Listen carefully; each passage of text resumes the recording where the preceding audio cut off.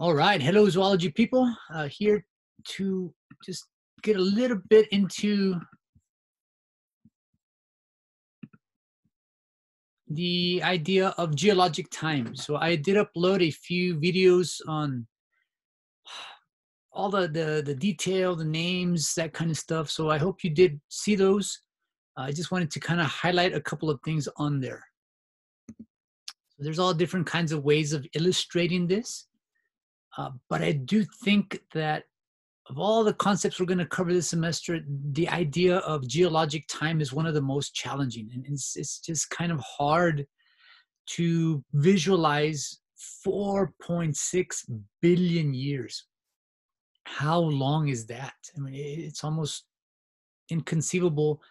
Um, if you can even just visualize this year, and you know, 2020, how much change, how many things have happened within uh, one year. Now, you know, 4.6 billion years. Uh, how many different things? How many little mutations, little selective pressures? Uh, all these evolutionarily or evolution and ecological type of, of aspects. All those, how the cumulative effect of all of that.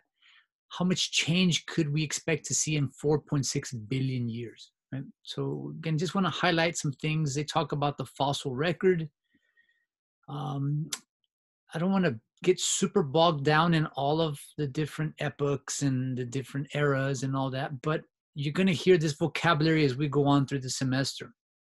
Uh, most of y'all are familiar with the Jurassic uh, sort of idea, the Jurassic Park, that kind of stuff. But um, there is some relevance, different species, different organisms, different groups, different phyla uh, did originate at different times in the past. And depending on when you originated as a species, it's going to determine what ecological interactions you underwent. And, and it just, it kind of domino effects through there.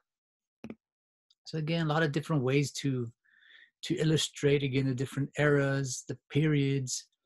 Um, so just the idea that there has been a lot of change over time. So for this semester, we don't get through all of the detail, right? So you can start to see some of the early fishes in Devonian. So we're going to kind of basically begin sort of around this area as we begin with our agnathan groups and the urochordates and that kind of thing as we get onwards here. So um, again, a lot of time, a lot of time to to kind of accumulate changes at the genetic level. And uh, we, we are very egotistical as a species. We think, man, well, this is it, right? But I suspect we'll be long gone and the earth will continue for another 4.6 billion years. I don't know how long after, you know, we won't be around, but uh, this little ball keeps spinning around the sun and, and, and just keeps going, right? Regardless of what species is the dominant species at the time, uh, and like everything that's been dominant for a while eventually you know is removed is goes extinct. So again there's a lot of change that will happen even after we're gone. Um, one of the videos that i uploaded the link the youtube link um, i like that it shows the idea of 4.6 billion years as a football field. I think that's a neat uh, a neat sort of analogy. This is kind of similar but showing sort of one revolution in one hour here, right? So uh, we see that if the Earth formed here at sort of at one second, uh, there's the idea that maybe life originated here at about nine minutes. uh, we start to see the first evidence of fossils at about 13. Uh, first bacteria, but then look at this huge gap, right? So a lot of things were happening, it's just not necessarily evident in the fossil record here. Uh, we start to see the first eukaryotic cells at about 40 minutes, first seaweed, 41. So we start to see the animals, jellyfish, um, sea life. And then this is significant. We start to see fossil evidence of the first fish. So at 53, so where are we at? We're about way up here. So at about 53 minutes, um, plants, which then opened up the, the biomes, the habitat for some of the sort of early animals, the insects. And then we have now our amphibians, 55, 22, reptiles, 55, 42, uh, big extinction event. Oh, there's our dinosaurs, 57, mammals, 5707, birds, 5759. Uh, the big Mesozoic extinctions, goodbye, you know, big creatures there. And then we have our human, first human ancestors, and then finally the first modern man, first modern human, right? So 59, 59.9. We've just we've just been on planet Earth for just a little blip as far as the planet is concerned. The planet's seen all kinds of things rise and fall, change. Um, so again, we are arguably a dominant species at this time, but for how long? How long will our little blip uh, remain? Um, we are definitely causing a huge impact in the short time that we're here, right? We're, we're causing all kinds of chaos around us. Um, but again, planet Earth is pretty good at, at, at dealing with chaos. Um, and planet Earth is going to continue on, regard, you know, whatever good things we do, whatever bad things we do, uh, the bad things will have an impact on us and on other species. Uh, but understand that the planet itself has has been this uh, this scene of, of change, right? So we know a little bit about the idea of continental drift. So plate tectonics. So the the solid ground that you're standing on right now is not actually solid, right? We're, we're kind of surfing on this sea of molten rock of, of magma. And if we go back 200 million years ago, we see that the Earth looks something like this. This is going to have a big impact on species that arose at that time. Yeah? So they would have had access to the entire landmass, what we call Pangea.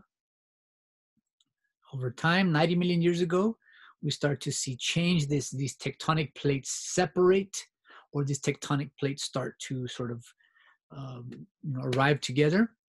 And then at the present day, we see our current uh, position of the continents. But even today, our Atlantic Ocean is separating a little bit each day. Pacific Ocean is getting a little bit narrower each day. So there's going to be change. And, and um, this is kind of like this idea of homeostasis, right? Our body tries to maintain homeostasis. If we get a little bit hot, we start to sweat. We get a little bit cold, we start to shiver. So there is a sort of homeostatic aspect with planet Earth. If there's too much pressure between two plates, well, they shift, right? We have this, you know, destructive earthquake, but it kind of relieves that pressure. There's a volcano with too much pressure, it erupts, right? And again, this idea of sort of global homeostasis. And I would venture to say that right now the planet Earth is not in our homeostatic or its homeostatic point. So a lot of changes going on, a lot of uh, global issues that somehow, some way, the Earth will get back to its state, regardless of, of who's affected in that process. So, um, talk a little bit about the fossil record. So we have all these layers. Here in El Paso, we have a really good fossil sort of history. If we go up to the Franklin Mountains, there's a lot of these layers of fossils of, of rock, different sedimentary layers there. So we know that these things have taken a long time to, you know, to occur, right? So at one point, we can say the Grand Canyon was a flat piece of land, right? And over time, the water sort of eroded its way down, and we have now these different types of situations. Here in El Paso, a lot of the the fossils we find up in the Franklin Mountains are like underwater creatures. You think, how could a little underwater creature be way on top of the Franklin Mountains? Well, a lot of that was at one point underwater and it's been forced upward through tectonic uh, sort of activity. So change in the land translated into change in the wild uh, organisms, the vertebrates that live on the land as well. So we have land that changes, water changes, right? Fresh water, salt water, salinity concentration. So there's a lot of changes that happen not just on the terrestrial ecosystems, but also on the aquatic ecosystems. Um, these huge mountains, right? So they were not always there. Uh, Mount Everest is the result of two massive plates sort of colliding, and that that pressure is then released in an upward fashion like that. So again, modern day evidences of past or historic type of tectonic movements. So a very dynamic planet that we live on. Uh, and, and today we can go to Hawaii, we can go to different parts of the world and actually see new land being formed, right? Volcanic activity spewing out this magma. And right now it looks just like barren black rock. Uh, in, in, the future, right? Many, many, many years into the future, that's going to break down into sand, which will uh, then allow seeds to establish, plants will grow, animals will inhabit, and, and we have what these we call successional type of uh, uh, of complexity there. Right? So again, the idea that things change over time, and then we have this idea of biogeography.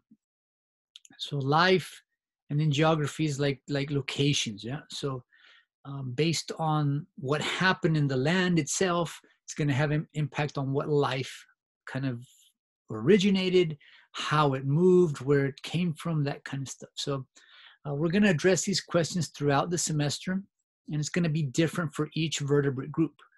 So what is the origin of the species in question? Where did alligators uh, originate from? Is it the same as where koala bears originated from, right? How long has that species been extant? Extant is the opposite of extinct. So species, just like individuals, uh, are, are sort of uh, quote unquote born, right? They're, they're, this new genetic composition of organism now is on planet Earth. So how long has each particular species been extant? And we start to talk about geologic age in, in a lot of these species there. How did that species get to its present location, right? So not necessarily how did the individual uh, we can analyze it like that as well. But how did the species originate? Right? How did kangaroos uh, get to um, Australia? How did horses get to America? Right? There's these different sort of um, movement, migration, um, genetic drift events, all, all, these things that can happen to put that organism in its specific uh, location. And then what factors genetically, ecologically, geologically play a role and limit that species range. So why are polar bears only found in the Arctic cold areas, but not the Antarctic cold areas? Uh, why are humans who were not really well adapted to heat, why do we live in El Paso and in Phoenix? And humans that are not really adapted to cold, how are they surviving in Antarctica today? So again, a lot of these questions um, are, going to be things that we address and we try to make sense of throughout the semester.